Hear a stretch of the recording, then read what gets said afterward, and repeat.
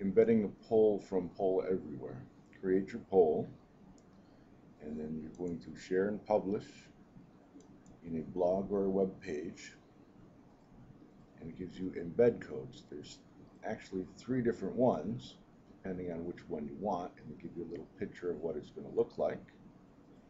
So I'm just going to grab one of them, copy the embed code, go to Haiku, add a content block, click embed the web, paste the code, click next,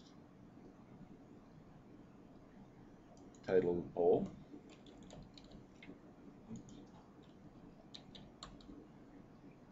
add your description in here, your lesson plan information if necessary, click save.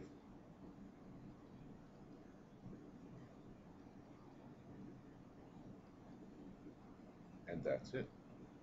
It Takes a couple of seconds for the poll to show up, but it's in there. Students can text their answers to you.